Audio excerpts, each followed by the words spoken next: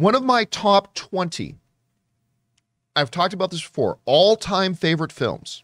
Doesn't quite, it doesn't crack my top 10, but it is for me in my top 20. And I don't think there's another human being alive that this movie's in their top 20, but it is for me. And that's Clerks 2. Because Clerks 2 had that, you know, raunchy, you know, whatever. Uh, and, you know, Rosario Dawson, who was like every teenage boy's dream girl character in that movie, like all that kind of stuff. But at the heart of it was this incredible story about a guy who is struggling with what is my priority in life? I have a great opportunity to further my career and get ahead and blah, blah, blah. But doing that means leaving my friends, my family, my circle, and leaving the people who are important to me in my life.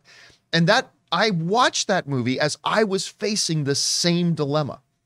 And so, because of that, and the Smashing Pumpkins song that's in that, um, what's the name of the boom, boom, boom, boom, boom, boom, boom, boom, boom? I just can't remember the name of the song.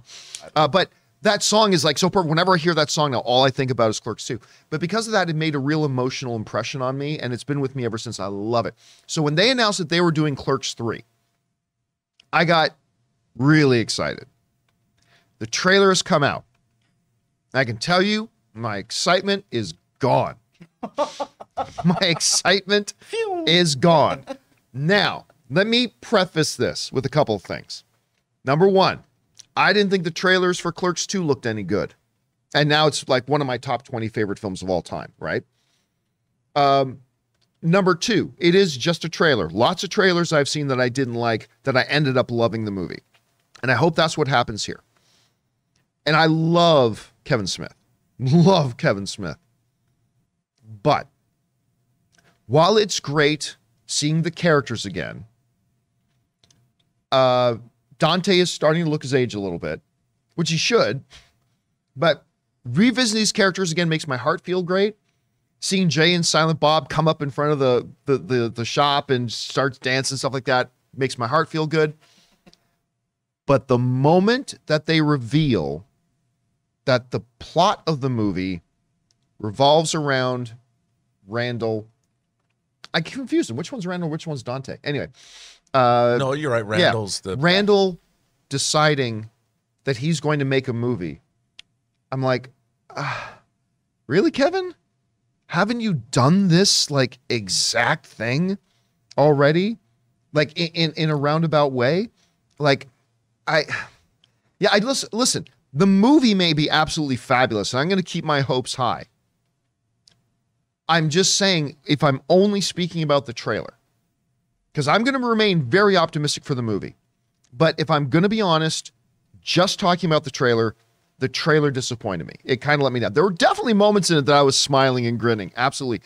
But fi- again, it, to me, it was just about finding out that the plot of it is they're going to make a movie, and I can just see them recycling 18 other jokes they've done, done in some of the Jay and Silent Bob movies. And I don't know. I just, the trailer didn't click for me. Amy, you had a chance to watch the trailer. What first of all, do you have any kind of connection to the, like the old Kevin Smith movies, whether it's Mallrats or The Clerks or whatever? And what did you think about this trailer? I mean, I think it. I I almost think I have a little less uh, trepidation about it, and maybe that is because I like Clerks. It's not like a a personal. So to me, it's just like, all right, we'll see how this goes. I think meta is always just going to be a really uh, fine line to walk. It can either work great and be super funny and some really clever jokes, or it can get a little grating. So I I'm a little on the fence of uh, we'll wait we'll wait and see what the buzz around this one is. It, it could go either way for me. Rob, what did you think about it? I think I liked it more than you, only because you know I like seeing. It, to me, it, it landed for whatever reason. The thing that the thing that was disappointing to me, and I think it's been disappointing because I like Kevin Smith as well. His last couple of movies, and this one had that. It looks like oh. they went out and shot it on a weekend with a video camera or, or phones, and and it. Which is a little Like- harkening back to how he shot the original. But I, it does. like but that, I yeah. like the way like Clerk two, Clerks two, and Dogma when he went you know widescreen, and it just seems that visually he's sort of regressed a bit. And I think it would have helped. And again, having not seen the movie, just looking at the trailer, I think if it was a little more lush visually, I mean, you're shooting the quick stop, and everything was, it was all these these kind of flat shots, and maybe that that's the style of Clerks.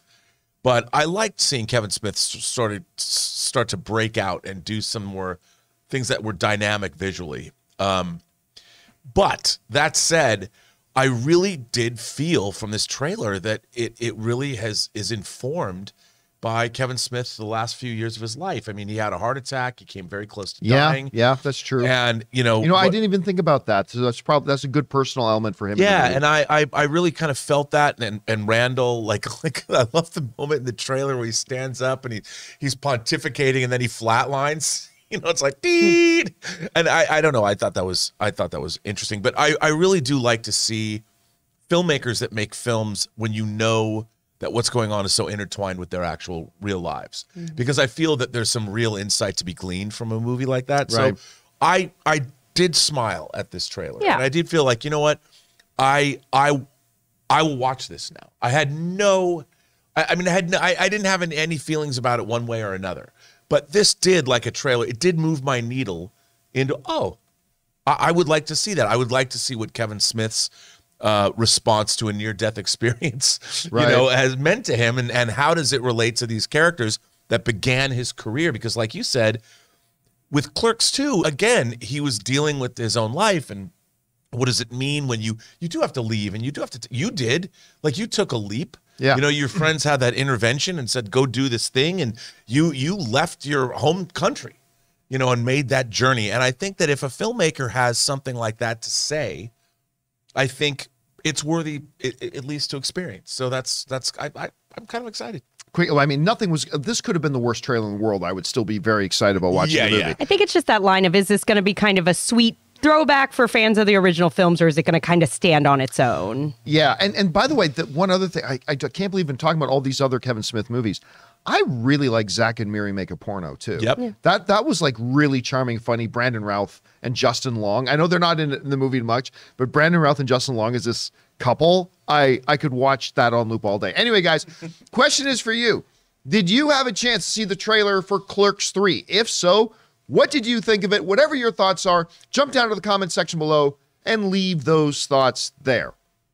We want to take a moment and thank the sponsor of today's video, Storyblocks. Guys, I have been an enthusiastic fan and user of Storyblocks for years. I go to them whenever I'm in need of content creation assets like royalty free music, video clips, or templates for my creative projects, ranging anywhere from little editorial videos to my very own full feature documentary. Storyblocks helps you bring your stories, videos, and projects to life without sacrifices due to time, budget, or access to resources. They have over 1 million different story assets ranging from stock videos, audio and music, an in browser video editor, and they feature pre designed templates, animations, and outros. Storyblocks uses an affordable subscription model, and their unlimited access plans offers, well, unlimited video and audio downloads rather than a costly pay per clip model. With Storyblocks, you'll be able to create more content and, more importantly, better content, all while using a subscription plan that fits your budget, utilizing unlimited downloads of demand driven and diverse content. So if you're interested in upping your content creation game, head over to www.storyblocks.com slash Campea and get started today. That's www.storyblocks.com slash Campea.